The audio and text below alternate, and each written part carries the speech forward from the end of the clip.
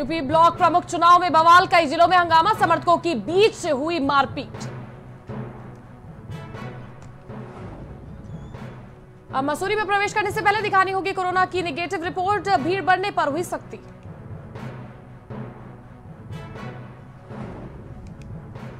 Delhi cabinet ने real time sources apportionment study को दी मंजूरी, प्रदूषण के स्रोत रियल टाइम में होंगे ट्रैक गंगा में नहीं पाए गए कोरोना वायरस के निशान। रिसर्च के बाद नदी कोविड फ्री घोषित।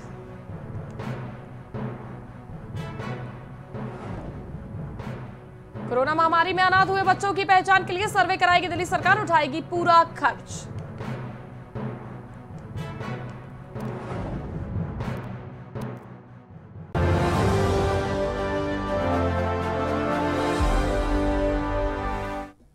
उत्तर प्रदेश की खबरों की करते हैं शुरुआत। उत्तर प्रदेश में ब्लॉक प्रमुख चुनाव को लेकर घमासान जारी है। आज 11 बजे से उत्तर प्रदेश की चार सौ छिहत्तर क्षेत्र अध्यक्ष पद के लिए मतदान हुआ। मतदान जारी है। ग्यारह उम्मीदवारों के बीच मुकाबला हो रहा है। नामांकन वापसी के अंतिम दिन। तीन क्षेत्र में अध्यक्ष निर्विरोध निर्वाचित हुए। आज तीन बजे तक मतदान होगा। मतदान के बाद मतगणना कर परिणाम आज ही घोषित किए जाएँगे। बीडीसी सदस्य मतदान के लिए मतदान केंद्रों पर पहुँचने लगे हैं। मतदान के शुरू होते ही कुछ इलाकों में हिंसा भी शुरू हो गई है। खैर पोलिंग बूथ पर जगह जगह पुलिस बल को तैनात किया गया है। ब्लॉक प्रमुख चुनाव को देखते हुए प्रशासन अलर्ट है। प्रशासन ने जगह जगह बैरिकेटिंग कर शांतिपूर्ण ढंग से चुनाव कराने की कवायद शुरू कर दी है। इस चुनाव में कुछ जगहों पर भाजपा और सपा की सीधी टक्कर भी हो रही है। सपा और निर्दलीय प्रत्याशी के बीच भी कड़ा मुकाबला देखने को मिलेगा।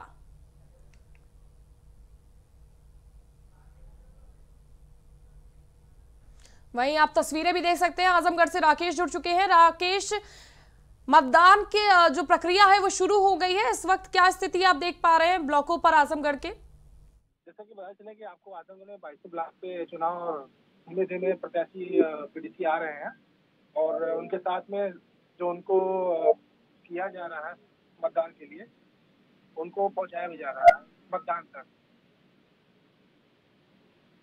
ठीक है बहुत बहुत शुक्रिया हमारे साथ जुड़ने के लिए। तो मतदान शांतिपूर्वक करवाने के लिए पुलिस बल तैनात की गई है, मतदान किया जा रहा है। हालाँकि कुछ जगहों पर बवाल की भी सूचना प्राप्त हुई है, जहाँ पर सपाइयों द्वारा ये आरोप लगाया गया है सीधे तौर पर कि कहीं ना कहीं चुनाव में भी गड़बड़ी करी जा रही है। तो आप तस्वीरें भी देख सकते हैं। कई जगहों के भी हम आपको दिखा रहे हैं। पाँच जगहों की तस्वीरें, आजमगढ़, कौशाम्बी औरैया रायबरेली, कानपुर, जहाँ पर मतदान की प्रक्रिया सुचारू रूप से चालू है।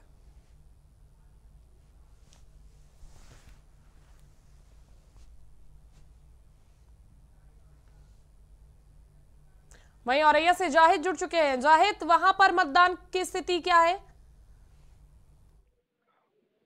अजीत बिजला सीट की बात की जाए तो मतदान के लेकर काफ़ी प्रशासन द्वारा तैयारियाँ की ली चुकी होंगी वही बीजेपी और भाजपा प्रत्याशी दोनों मिलकर वोट डाल रहे हैं धीमे धीमे करके आ रहे हैं। जी। शांतिपूर्वक वहाँ पर औरैया में तमाम ब्लॉकों पर चुनाव हो रहे किसी तरह की कोई परेशानी तो नहीं महसूस की जा रही है? कोई तनाव की स्थिति? शांतिपूर्वक देखकर चुनाव हो रहे हैं जगह जगह प्रशासन के फोर्स भी लगा हुआ है जगह जगह बैरिकेटिंग भी लगा रखी है। हर आदमी को पूछताछ करके चेक करके ही अंदर के लिए जाने दिया जा रहा है। जी। कानून व्यवस्था दुरुस्त दिखाई दे रही है बिल्कुल। ठीक है बहुत बहुत शुक्रिया। तो औरैया से हम आपको अपडेट दे रहे थे हालाँकि जैसा कि कहा उन्होंने कि शांतिपूर्ण तरीके से हमारे संवाददाता ने बताया कि चुनाव हो रहा है। वहीं देव आनंद कौशाम्बी से जुड़ चुके हैं। देव मैं आपसे जानना चाहूँगी क्या स्थिति आप देख पा रहे हैं? सुरक्षा व्यवस्था किस तरह से दिखाई दे रही है? जी मैडम यहाँ कड़ी सुरक्षा के बीच पुलिस प्रशासन मुस्तैद है जो कि यहाँ एक कौशाम्बी एसपी और डीएम भी यहाँ पे आके मौके का निरीक्षण किया और मतदान केंद्र में कोई भी तरह की गड़बड़ी यहाँ अभी तक नहीं पाई गई है जो कौशाम्बी से है। जी। ठीक है देव बहुत बहुत शुक्रिया हमारे साथ जुड़ने के लिए। तो कौशाम्बी में भी स्थिति सामान्य है। इस वक्त ऐसी कोई बवाल की खबर सामने नहीं आ रही। आप पाँच जिलों की तस्वीरें आप देख पा रहे हैं जहाँ पर रायबरेली आजमगढ़ औरैया कौशाम्बी जौनपुर में मतदान प्रक्रिया सुचारू रूप से संचालित की जा रही है।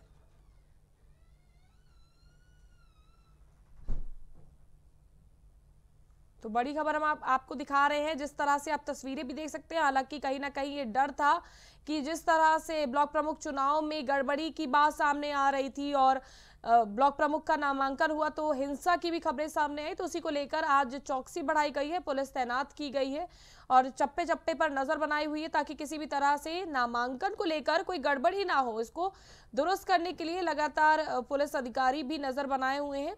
वहीं आपको हम पाँच जिलों की तस्वीरें भी दिखा रहे हैं, आप अपनी टीवी स्क्रीन पर देख सकते हैं कि किस तरह से मतदान कराया जा रहा है। और आज ही बता दें, आज ही दस तारीख को मतगणना भी पूरी की जाएगी।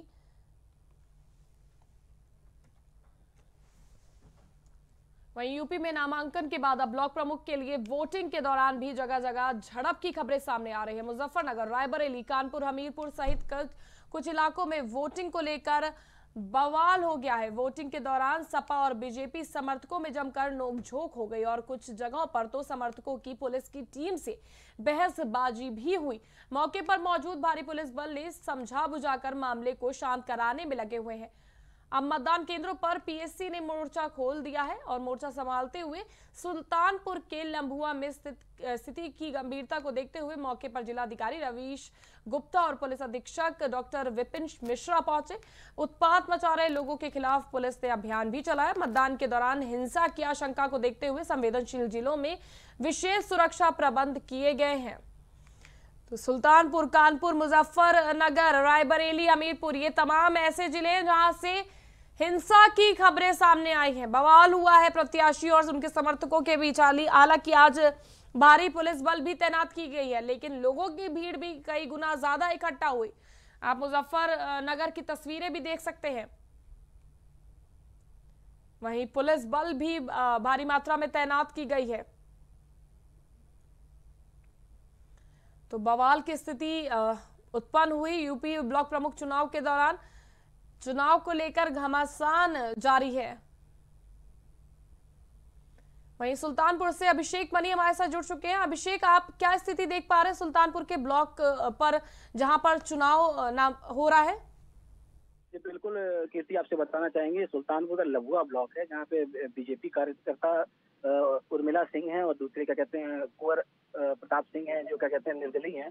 तो दोनों ही पक्षों में लगातार घमासान बना हुआ है और दोनों ही पक्ष को बैरिकेड लगा के रोका गया है। वहीं जो क्या कहते हैं तमाम पुलिस बल लगाई गई है और डीआईजी और डीएम एसपी तमाम ऐसे बड़े अधिकारी जो मौके पर मौजूद हैं जिसको हाल फ़िलहाल में अभी क्या कहते हैं पूरे मामले को शांत किया गया है। बहरहाल चुनाव अभी तीन बजे तक चलेगा उसके बाद फिर पाँच बजे तक परिणाम है ठीक है। सामान्य नहीं हो पा रही है। क्या पुलिस को किन दिक्कतों का सामना करना पड़ रहा है? क्योंकि पुलिस फोर्स भी हम देख पा रहे तस्वीरों में कि तैनात की गई है। लेकिन उसके बावजूद भी जो बवाल है वो थमता नहीं दिख रहा है।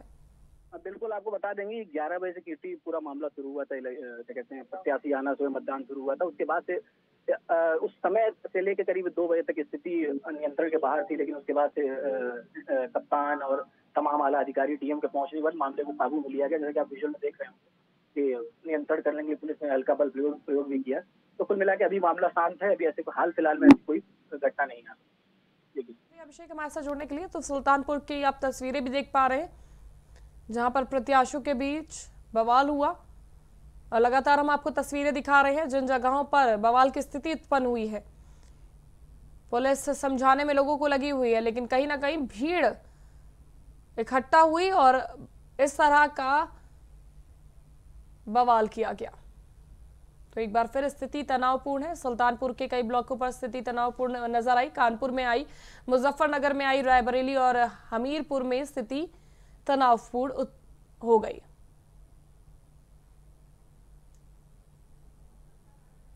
वहीं ओम शंकर रायबरेली से जुड़ चुके हैं। ओम शंकर जी, मैं आपसे आना चाहूँगी, रायबरेली में भी कहीं ना कहीं तनाव की स्थिति कुछ ब्लॉकों पर उत्पन्न हुई है? जिस तरह की डर था। जी, बिल्कुल। यहाँ शुगर ब्लॉक में ज़बरदस्त हंगामा देखने को मिला है। पूर्व एमएलसी राकेश प्रताप सिंह के बेटे हनुमंत सिंह प्रत्याशी है। वहीं वर्तमान एमएलसी दिनेश प्रताप सिंह ने एक अपना समर्थक कैंडिडेट शिल्पा सिंह को खड़ा कर दिया है। वही मतदान को लेकर दोनों पक्षों में ज़बरदस्त हंगामा काटा है। हालाँकि मौके पर भारी पुलिस बल पहुँचा है। मौके पर माहौल को शांत कराया गया है। जी। बहुत बहुत शुक्रिया ओम शंकर हमारे साथ जुड़ने के लिए। तो रायबरेली में भी रायबरेली में भी बवाल की स्थिति है। हालाँकि मामला शांत करवा दिया गया है।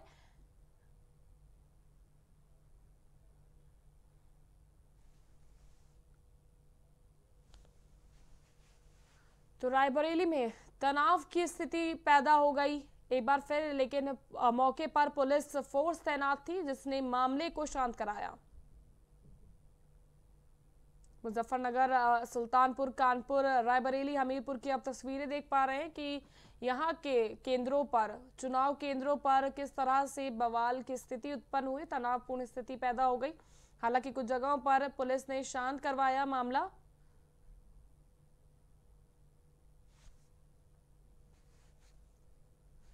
वहीं हमीरपुर से ब्रिजेश ओझा हमारे साथ जुड़ चुके हैं। ब्रिजेश जी, क्या स्थिति आप देख पा रहे हैं इस वक्त?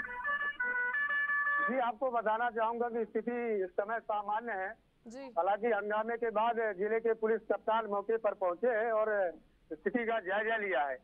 हालाँकि इस समय दोनों पक्षों को समझा बुझाकर मामला शांत है और वोटिंग सुचारू रूप से चालू है अभी। जी। किन चीज़ों को लेकर ये बवाल की स्थिति उत्पन्न हुई? क्योंकि कहीं ना कहीं ये कहा जा रहा था कि केंद्र पर ज़्यादा लोगों के इकट्ठा होने की इजाज़त नहीं है भीड़ इकट्ठा नहीं होने दी जाएगी उसके बावजूद बवाल की स्थिति क्यों उत्पन्न हुई? जी मैं आपको बताना चाहूँगा कि ये पूरा वाक्य उस समय का है जिस समय सपा के जो ब्लॉक प्रमुख पद के दावेदार थे वो अपनी गाड़ी में जैसे ही ब्लॉक गेट से महज 200 मीटर पहले पहुँचे उसी समय पहले से मौजूद भाजपा कार्यकर्ताओं ने उनकी गाड़ी पे जमकर हमला कर दिया। लाठी डंडे बरसाए जिससे गाड़ी में सवार आठ से दस लोग बुरी तरीके से घायल हो गए। तो आनंद फानंद में सभी घायलों को अस्पताल में भर्ती कराया गया और इतना ही नहीं भाजपाइयों के हौसले इस कदर बुलंद थे कि ये जो है पुलिस के साथ धक्का मुक्की करते हुए भी गेट के अंदर घुसने का इन लोगों ने प्रयास किया। तो वहाँ पर जो फोर्स तैनात थी उन्होंने इन लोगों पर कोई कार्रवाई नहीं करी? कार्रवाई के नाम पे जो है जब हंगामा बढ़ता दिखा तो पुलिस ने अपना बल प्रयोग करते हुए दोनों पक्षों को खदेड़ दिया वहाँ से और इसके बाद में अभी फ़िलहाल स्थिति सामान्य बनी हुई है। है, पुलिस अधीक्षक यहाँ लगातार घूम घूम के अपील कर रहे हैं कि शांति व्यवस्था बनाए रखें, लेकिन अभी फ़िलहाल स्थिति सामान्य है। बहुत बहुत शुक्रिया हमारे साथ जुड़ने के लिए। तो सुल्तानपुर, रायबरेली मुजफ्फरनगर, कानपुर और हमीरपुर की हम तस्वीरें आपको दिखा रहे हैं, जहाँ पर बवाल की स्थिति उत्पन्न हुई, तनावपूर्ण स्थिति हुई, हालाँकि अभी कुछ जगहों पर स्थिति सामान्य हो गई है। वहीं उत्तर प्रदेश में ब्लॉक प्रमुख चुनाव को लेकर घमासान जारी है। मतदान तीन बजे तक होगा और उसके तुरंत बाद मतगणना शुरू होगी और फिर परिणाम घोषित किए जाएँगे। बीडीसी सदस्य मतदान के लिए मतदान केंद्रों पर पहुँचने लगे हैं। मतदान के शुरू होते ही कुछ इलाकों में हिंसा भी शुरू हो गई। खैर, पोलिंग बूथ पर जगह जगह पुलिस बल को तैनात किया गया है। ब्लॉक प्रमुख चुनाव को देखते हुए प्रशासन अलर्ट है। वहीं बाराबंकी के देवा ब्लॉक में पोलिंग बूथ पर सुरक्षा व्यवस्था का जायजा लेने के लिए हमारे संवाददाता भी मौके पर पहुँचे। ब्लॉक प्रमुख का चुनाव चार सौ छिहत्तर सीटों पर हो रहा है और 300 से ज़्यादा ब्लॉक प्रमुख निर्विरोध चुने जा चुके हैं। हम इस टाइम पहुँचे हुए हैं देवा ब्लॉक के में और हम आपको दिखाना चाहेंगे कि जो क्षेत्र पंचायत सदस्य हैं, वो अपने मताधिकार का प्रयोग कर रहे हैं। देवा ब्लॉक के अंदर दो प्रत्याशी हैं, सपा और भाजपा के बीच में टक्कर मानी जा रही है। सामने आप देख सकते हैं, लाइन लगी हुई है, पुलिस प्रशासन भी मौजूद है और पुलिस प्रशासन की देख रेख में यहाँ पे मतदान हो रहा है और लोकतंत्र के इस महापर्व को मनाया जा रहा है जो क्षेत्र पंचायत सदस्य हैं वो अप, वो अपने अपने मत का प्रयोग कर रहे हैं और अपना ब्लॉक प्रमुख चुन रहे हैं।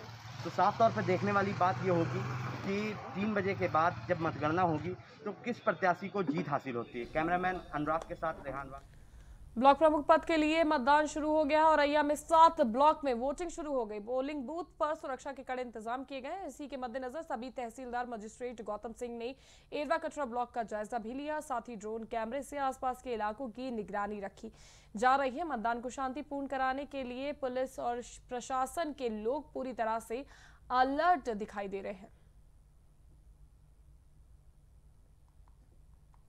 औरैया जनपद के सात ब्लॉकों में से दो ब्लॉक औरैया सदर भाजपा के खेमे में है और भाग्यनगर ब्लॉक सपा के खेमे में निर्विरोध चली गई। बाकी बचे पाँच ब्लॉक में आज ब्लॉक प्रमुख का चुनाव है। ऐसे में औरैया के संवेदनशील अजीतमल ब्लॉक सीट पर सत्ता पक्ष के लोगों को बीडीसी सहायक देने पर जिला प्रशासन पर गंभीर आरोप लगाए हैं। सपा जिला अध्यक्ष राजवीर सिंह यादव ने प्रशासन पर एक तरफा कार्रवाई का आरोप लगाया है। साथ ही कहा कि ये चुनाव लोकतंत्र को चुनौती है। महिलाओं के खिलाफ अत्याचार हो रहे हैं। इस पर राज्यपाल महोदय को संज्ञान लेना चाहिए। वहीं सपा प्रत्याशी देवेंद्र यादव ने जिला प्रशासन से मांग की है कि सहायक निरस्त किए जाए। ये चुनौती है लोकतंत्र को। ये संविधान को चुनौती है। यहाँ चुनाव बीजेपी का कोई कार्यकर्ता नहीं लड़ रहा है। एसपी और डीएम लड़ रहे हैं। तो मैं कह रहा, क्यों सहायक देते हो? एसपी डीएम स्वयं आके अपना मोर लगा दें कि आपको ही सहायक देना है और एक क्यों देना है? अगर मैं समाजवादी पार्टी का कोई सहायक मांगने जाए एप्लीकेशन देने जाए तो आप उसको नहीं बनाएँगे। भाजपा के एजेंटों को आप सहायक एजेंट बनाएँगे। इसी तरीके से जिला पंचायत अध्यक्ष के चुनाव में हुआ था। कि सहायक भाजपा के जो पदाधिकारी थे, उनको एजेंट बनाया गया और उनको सहायक बनाया गया। इसी तरीके से वो क्यों जितना करना चाहे वो कर लें। क्योंकि समय आएगा, भाई, अभी जो समय आएगा तो जनता उनको सबक सिखाने का कोरोना की दूसरी लहर और प्रतिबंधों में छूट के बाद लोग छुट्टियाँ और गर्मी से राहत पाने के लिए पहाड़ी इलाकों की ओर जाते दिखे। मसूरी, मनाली, नैनीताल में सैलानियों का तांता लगा दिखा। ऐसे में मसूरी के प्रशासन ने सख्ती दिखाते हुए सैलानियों के लिए कोरोना निगेटिव रिपोर्ट अनिवार्य कर दी है। दरअसल कोरोना की दूसरी लहर के धीमे पड़ने के बाद ज़्यादातर सभी राज्यों को प्रतिबंधों से मुक्त कर दिया गया। वहीं लोग छुट्टी और गर्मी से राहत पाने के लिए हिल स्टेशन पर निकलते दिखाई दिए बीते दिनों मसूरी नैनीताल मनाली की कुछ आ, कई तस्वीरें सामने आई जहाँ सैलानी कोरोना नियमों का उल्लंघन करते हुए दिखाई पड़े।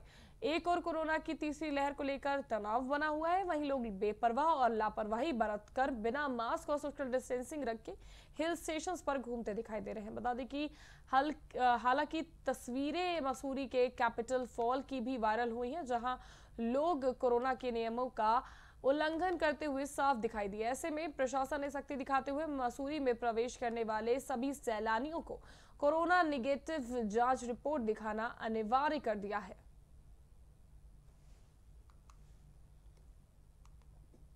केंद्रीय गृह मंत्री अमित शाह आज अपने गृह राज्य गुजरात के तीन दिवसीय दौरे पर जाएँगे। इस दौरान 12 जुलाई को भगवान जगन्नाथ की रथ यात्रा की शुरुआत से पहले वो मंगल आरती में भी हिस्सा लेंगे। 11 जुलाई को वो शहर के भोपाल इलाके जाएँगे और वहाँ एक पुस्तकालय और नगर निकाय केंद्र का उद्घाटन करेंगे। साथ ही अहमदाबाद शहर में और उसके आसपास जल वितरण परियोजना एवं सामुदायिक हॉल और नगर निकाय अधिकारियों द्वारा निर्मित एक वार्ड कार्यालय सहित अन्य परियोजनाओं का ऑनलाइन उद्घाटन भी करेंगे।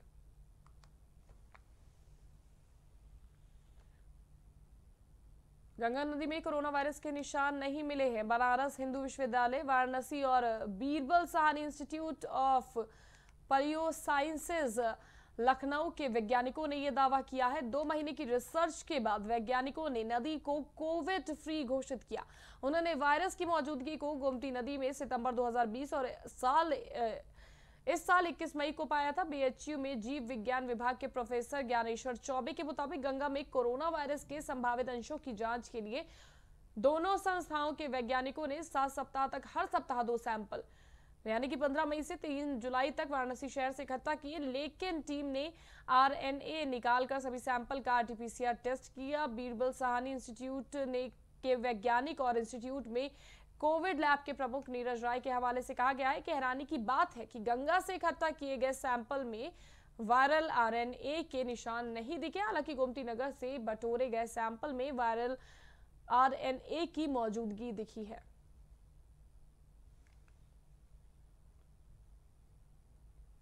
कोरोना संक्रमितों की संख्या में आज पहले से गिरावट दर्ज की गई, लेकिन मौत का आंकड़ा कम होता नहीं दिख रहा है। स्वास्थ्य मंत्रालय के ताज़ा आंकड़ों के अनुसार पिछले 24 घंटे में तिरालीस हज़ार तीन सौ तिरानवे नए कोरोना केस आए हैं। 911 संक्रमितों की जान चली गई। इससे पहले बुधवार को पैंतालीस नए केस आए। थे, वहीं पिछले 24 घंटे में चौवालीस लोग कोरोना से ठीक भी हुए हैं। यानी कि कल 1977 एक्टिव केस घट गए। आठ जुलाई तक देश भर में 36 करोड़ उन्यासी लाख कोरोना वैक्सीन के डोज दिए जा चुके हैं। बीते दिन 40 लाख तेईस हज़ार टीके लगाए गए। वहीं अब तक करीब 42 करोड़ 70 लाख कोरोना टेस्ट किए जा चुके हैं। बीते दिन करीब 18 लाख कोरोना सैंपल टेस्ट किए गए, जिसका पॉजिटिविटी रेट तीन फ़ीसदी से कम है।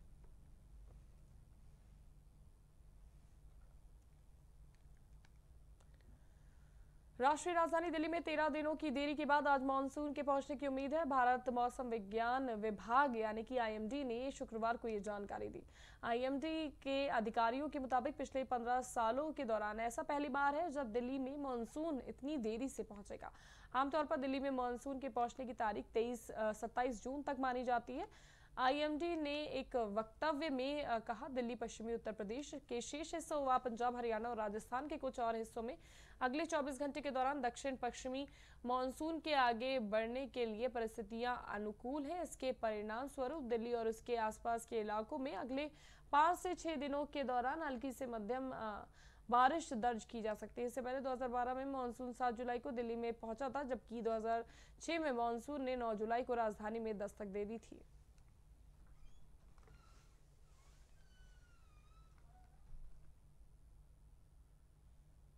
फ़िलहाल के लिए बस इतना ही। फिर हाजिर होंगे, तब तक के लिए स्वस्थ रहिए, सतर्क रहिए और देखते रहिए प्राइम टीवी।